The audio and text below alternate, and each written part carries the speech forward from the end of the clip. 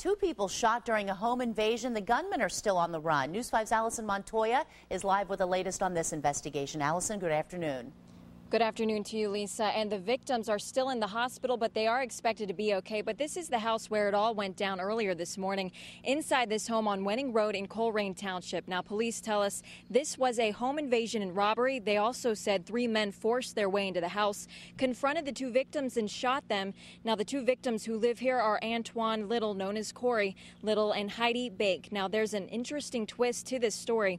You can see from the video that a pit bull and her puppies were taken from the residence. This is the same home where there was an altercation between a mailman and Corey Little last month. The mailman said he felt uncomfortable delivering mail here because of the pit bull in the front yard.